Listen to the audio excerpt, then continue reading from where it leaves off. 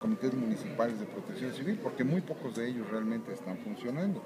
Muchos eh, presidentes municipales, como ya se van en su último año, pues dejan a la deriva y ahí a lo que suceda, ¿no? Y no importa, finalmente pues ahí está el Estado que viene y nos echa la mano.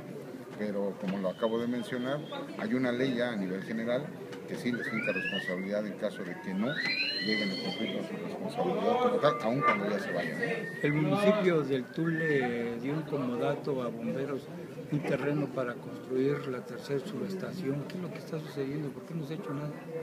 Bueno, puedo mencionar eh, lo que corresponde a nosotros como cuerpo de bomberos. El patronato está haciendo todos los esfuerzos posibles. Entiendo que las autoridades del Tule ahora reparan en el hecho de que ese terreno que ya se había donado es donde en anteriores ocasiones se encontraba la vía del ferrocarril y que según ellos eh, parece que ahí nuevamente les dijeron que va a haber un proyecto de ferrocarril. Por tal motivo hay una situación ahorita de controversia en ese sentido, pero entiendo que el patronato ya está haciendo las gestiones necesarias para localizar un nuevo terreno para poder llevar a cabo esta obra. ¿Es necesario más?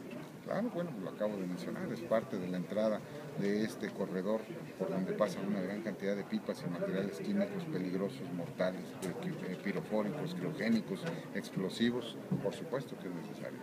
¿Algo que agregar, Mario, yo quisiera hacer un llamado a las nuevas autoridades, a los señores eh, candidatos, que por favor no solamente incluyan buenas intenciones políticas, sino que incluyan también la creación de los servicios de atención de emergencia en sus respectivos municipios, porque la inseguridad crece de manera geométrica y la seguridad no crece ni siquiera de manera aritmética. Hago un llamado a todos aquellos que quieren eh, ser gobernantes en sus respectivos municipios para que piensen en la protección civil y para eso estamos nosotros, para ayudarlos, para asesorarlos, para orientarlos, para decirles qué se debe hacer y qué no se debe hacer. Gracias.